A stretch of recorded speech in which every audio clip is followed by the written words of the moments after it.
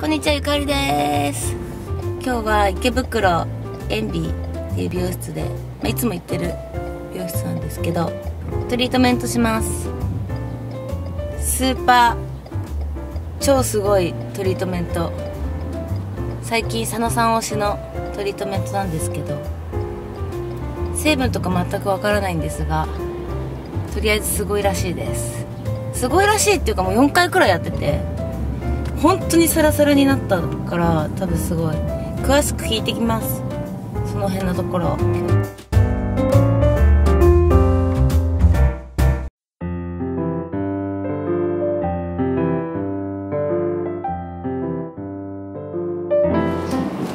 んにちは。お願いします。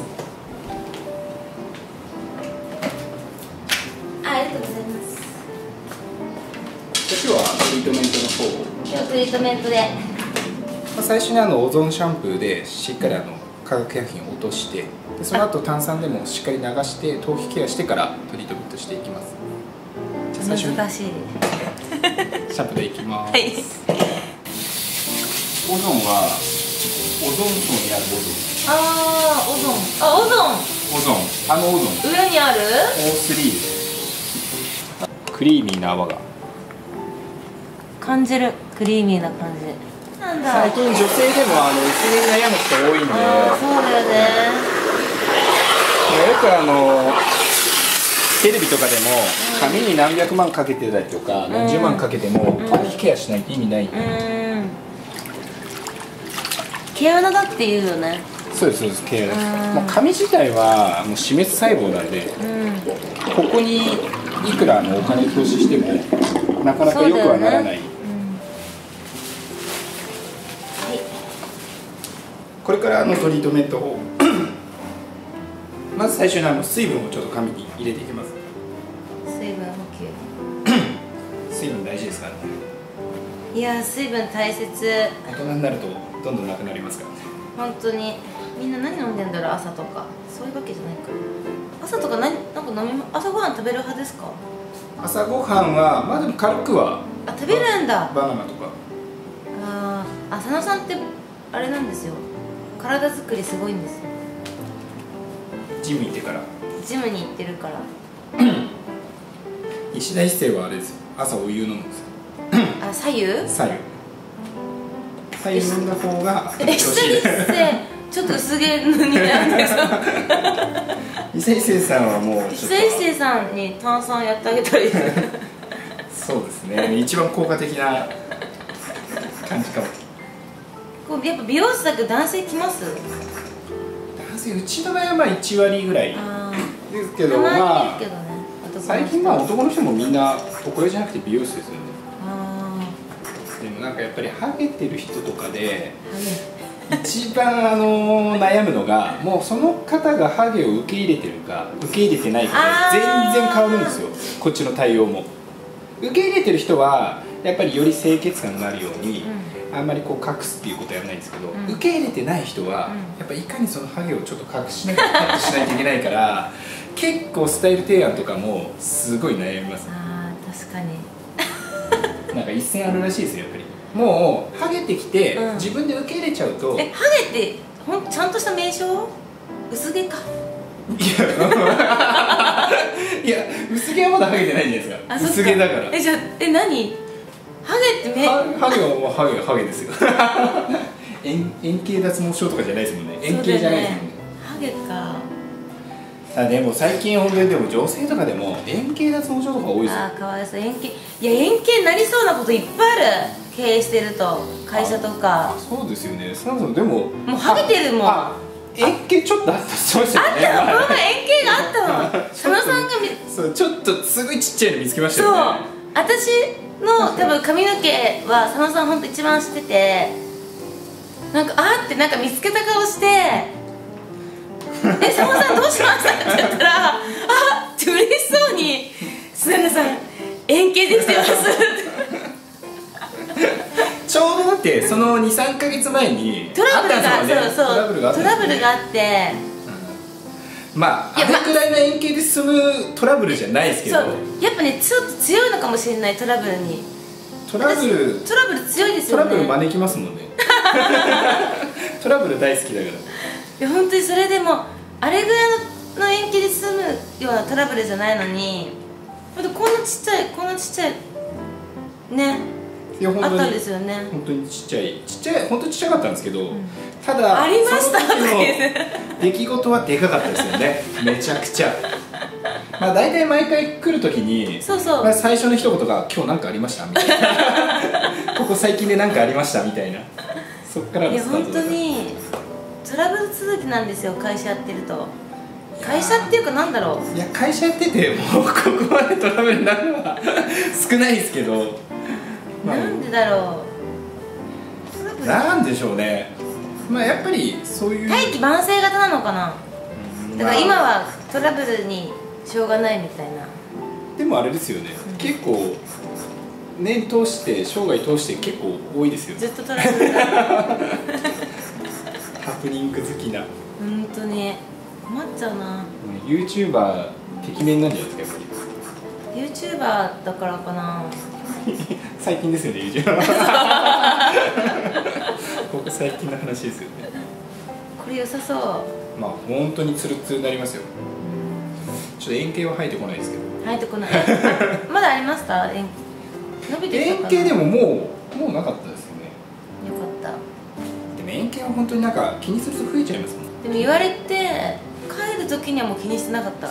円形があるってことを忘れてた確かに。もう触れてなかったですそうなんかもうあでまた次美容室来た時にあそういえば円あもう広がってないですねみたいな感じで言われてあそういえば延期あったんだと思ってまあそれぐらいしないと生きてられないかもしでもここ最近は落ち着いてるんですか？れないいや。あれありました？ありました？なんか。いやいいろいろあるんです。よここで言えないようなことが。じゃあ言える言える範囲ぐらいで。あ裁判とかするかもしれない。その辺にしときましょうか。まあいろいろプライバシーのねさあさあさ裁判？いやなんか本当になんかこの前のこの前っていうか昨日、うん。白い巨塔を見ててうん。裁判って本当大変だよなっていう。白い巨塔ってだってあれ、まあ裁判尽くしの ドラマだっけ、まあ、特に医療問題なんでうん。大変なんかですよね、本前に本読んだ気がする。すっごい前に。まあ、結局なんか訴訟、まあ、医療の訴訟になると、うん。やっぱ医者側が絶対強いじゃないですか。確実に。口裏も合わせやすいし。あ,、あーそっか。遺族側はまあ、あれ見てるとねもう病院怖いですけどね。泣くしかない。病院怖い。実際にだってどっちが嘘ついてるかって分かんないじゃないですか。うん。見てないし。見て見てないっていうかもうその真実を知らない人にとっては。あー確かに。あれで判断するってすごい大変ですよでも昔なんか美容室とかでもなんか訴訟問題ありましたよね。なんかなんかキャバクラやってる女の子かなんかがうん髪の毛をん。なんか切られすぎたって言ってうん。訴えてなんか仕事にならない。みたいなでなんかそれで勝ったんですよその女の子が。勝ったんですけど 結局まあ裏の話ではそのライバル店に送り込まれたキャバクラの女の子でもうあえてそれを狙ってあそうそあこのお店を潰すために。怖っ。でもだから一時期それでなんかその夜の人たち流行っちゃった感じですけどねその訴えるみたいな。怖い。としてはちょっと大変な 迷惑が、いやなんかあのほらあれそのさんなんか前にやっぱなんかクレームじゃないけど、なんか来て、お金返してほしいとか言われたことあるって。あーありますよ。うあのそういうちょっと夜の方が多いお店で勤めてた時に、ん、うん、まあ、そこは本当トラブル続きでしたけどね。あああそこね。はいあので 24時間やってた美容室なんですけど。24の美容室があるんです今もあるのかな？今もうないです。今もなくなっちゃいました、まああそこは本当にまあそこの時から行ってるから。でその時はまあ佐野さんは何回かやってくれたけどあのあそうですよね。その時違いますもんね。その時は佐野さんやってくれたりとか何回かしたけどその時はあの違う方にやってもらってて。もう旅立っちゃいましたもんね。旅立ちました。その方は。嫁に行きました幸せになってよかった。そうそうそう。で佐野さんこの店を8年前くらい。そうですね。にそうオープンしてでそこからもう佐野さんで。最初なんかあれですもんね。そうそう最場初所だけ貸してたからそうそうそう夜中とかに来てましたもんね。そうそうそう。そう夜中とかここここに来てちょっとやらせてもらってみたいな。やってもらってみたいな。夜中来てた2時とか夜な夜に2時ぐらいまでとか言って。いましたよね。普通の美容室感覚じゃないですもんね。でもなんかあの時の美容室ってなんかそんな感じでしたよね。そう夜中はなんかそんな感じでしたよねみんな、う頭になんか串 絡まったまま来たお客さんとか。んそう頭に串が絡まったまま来たお客さんがいたんですよ。電話の時点でもうだいぶ様子おかしかったでうちら行った時に電話かかってきて「串が絡まっちゃって取ってもらえませんか?」ってでもうみんなここ3人いて「え串?」ってなってなかなかなかなかない。で佐野さん優しいから「あどんな串ですか?」とか聞き出して。その時に社長なんでねもう写真撮り出してね。ちょっと撮っていいですかみたいな。そしたらなんかお客さんもノリノリになっちゃって顔隠しながらこうピースみたいなね。まあまあ面白い。笑っちゃう。櫛本当に絡まってたんですよね。本当に絡まってます。本当に。でもエクステエクステかなんかに絡まっちゃったんじゃなかったっけ？なんかそそんな感じでしたね。うん髪の毛傷んでて。そうそう傷んでてもうやばくなっちゃってみたいな。